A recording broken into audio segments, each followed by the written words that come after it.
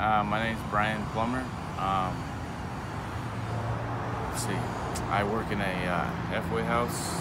I manage um, people with uh, problems with addiction. Um, let's see. Why do I work here? I work here. I started working here probably eight months ago.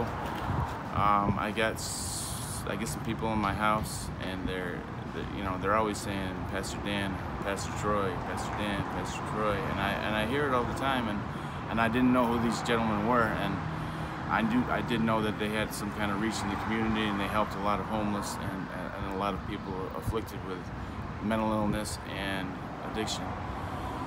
And it was just one day, my uh, my boss came and said, Brian, do you want to um, come uh, to a food pantry and help out?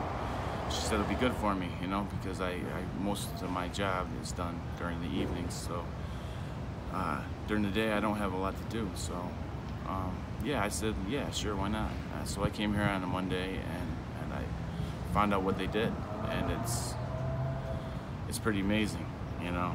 Um, and, and they help so many people. Um, they, they, they bring food in that's donated from um, numerous stores. And then what we do here is we palletize it and then it gets sent out to churches, it gets sent out to, um, to um, like old, old, folks homes and and eventually ends up getting in, into the community through them. And um, and I mean, it's it's amazing how many people they reach. Um, and so I started doing this on Mondays, and then it went from Mondays to Mondays, Wednesdays, and then from Mondays, Wednesdays to Monday, Wednesday, Friday. And now I do it like five days a week, and I don't have to, um, but I but I enjoy it. I enjoy um, I enjoy the fact that I, I know that I'm, I'm giving back. Uh, you know, I mean,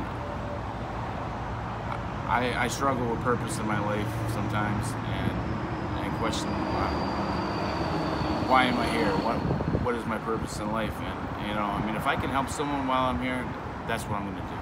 And um,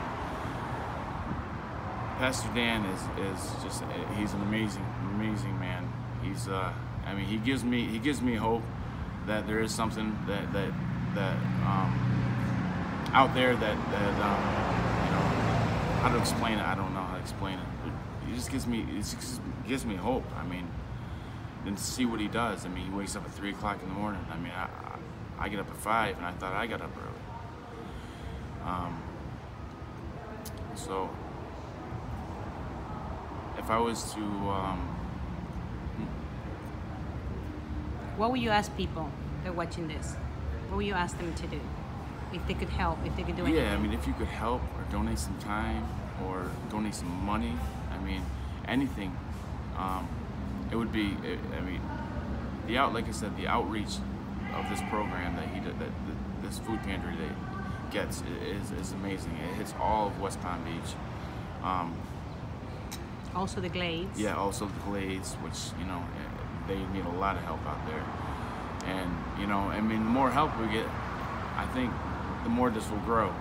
And the more this grows, the further the reach, you know, and, and the more people that we can help. And I, I and I, I, I, see it growing right now before my eyes, and I'm only putting it forth a, a small amount of effort. But if there's if there's more um, more people involved, more money involved, this could go a lot further than it is right now. It could help a lot more people. So